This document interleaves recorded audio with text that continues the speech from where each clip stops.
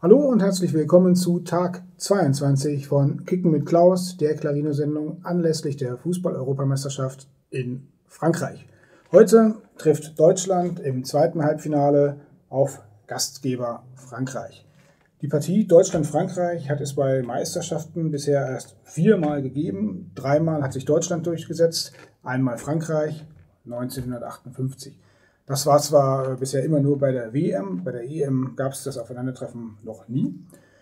Die Statistik, okay, die ist eindeutig, ähm, aber man muss aufpassen, vor allem vor äh, Antoine Griezmann, Griezmann, wie auch immer ausgesprochen wird, denn das ist der einzige Franzose, der diese Saison schon gegen Manuel Neuer getroffen hat. Für Atletico Madrid gegen den FC Bayern München im Champions League Halbfinale. Am Rande des äh, Dirigentenwettbewerbs in Augsburg haben wir Oberstleutnant Christoph Scheibling, den Leiter des Musikhaus der Bundeswehr, getroffen und haben ihn zum Spiel heute Abend befragt. Herr Scheibling, Sie stecken gerade mitten im äh, ersten internationalen Dirigentenwettbewerb in Augsburg. Was ist denn eigentlich schwieriger äh, zu beurteilen, ein Dirigat oder ein Fußballspiel? Naja, glücklicherweise fallen beim Fußball ja Tore. Das heißt, äh, die Leistung einer Mannschaft ist durch das Messbare, also durch das Erzielen von möglichst vielen Toren ja schon ein bisschen vorgezeichnet. Ähm, ich glaube, dass natürlich aber alles in der Kunst ein bisschen schwieriger zu beurteilen ist als das, was im Sport beurteilt wird. Hm.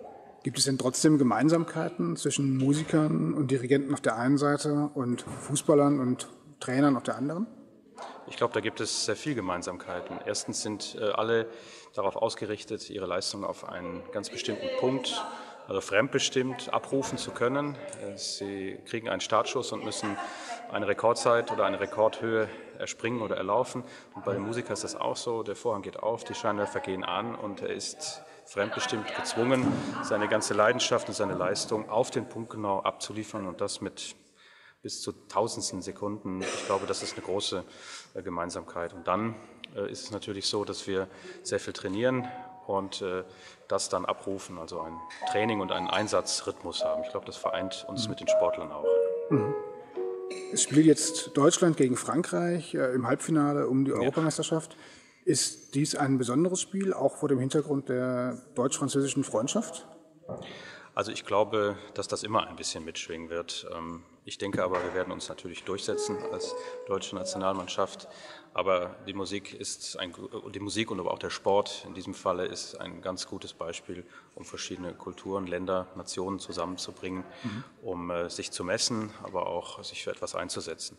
Und ich glaube, wenn äh, die großen Freunde Deutschland und äh, Frankreich nebeneinander auf dem Platz stehen, dann ist das auch ein europäisches Signal in diesen Zeiten. Mhm. Und ich glaube, das tut uns allen ganz gut. Mhm.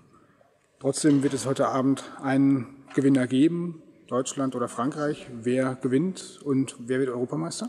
Ich glaube, da ist eh nur eine Antwort richtig. Natürlich, es wird ein harter Kampf, aber wir werden uns natürlich durchsetzen. Tut mir leid für die Franzosen, gerade in meinem eigenen Land, aber es kann natürlich immer nur der Beste gewinnen. Das wird Deutschland sein morgen. Und dann sind wir auch nicht mehr aufzuhalten. Dann werden wir natürlich Europameister. Mhm. Okay.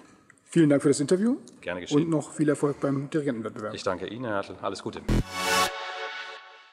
Soweit also die Einschätzung von Oberstleutnant Christoph Scheibling. Musikalisch hast du dir auch noch ein paar Gedanken gemacht. Wie sieht es da aus? Ja, ähm, vielleicht liegt es an der französischen Geschichte und vor allem an der Gründungslegende der Stadt Marseille, wo ja unser Halbfinale heute mhm. stattfindet. Die wurde ja der Legende nach von Griechen und Kelten gemeinsam gegründet. Mhm.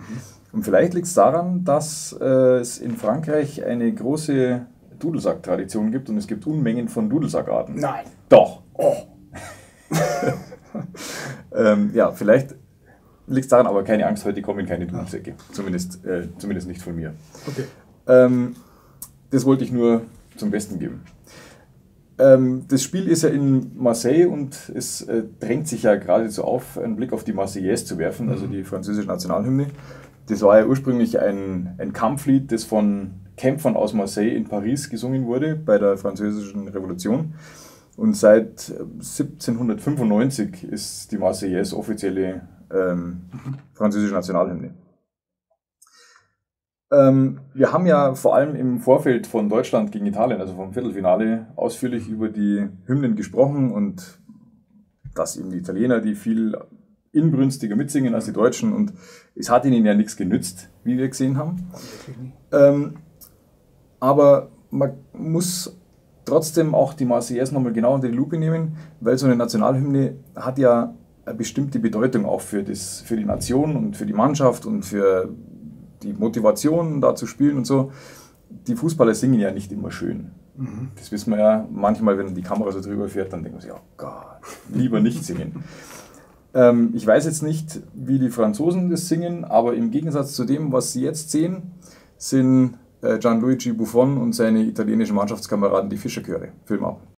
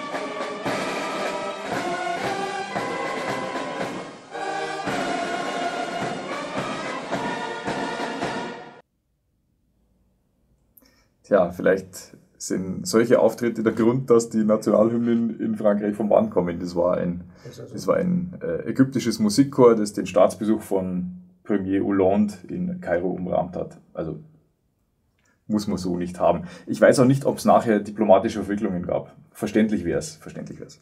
Okay. Bleibt für uns eigentlich nur noch das Spiel heute Abend zu tippen. Deutschland gegen Frankreich. Wie geht's aus? Ich glaube, das gibt ein äh, heiß umkämpftes und leidenschaftlich erfochtenes 2 zu 1 für Deutschland. Mhm. Ich weiß ja, dass Deutschland in jüngerer Vergangenheit mit den Heimmannschaften immer sehr gut äh, gefahren ist und deswegen tippe ich 7 zu 1. Nein. Doch. Oh. Bis zum nächsten Mal. Ciao. Bis dann. Ciao.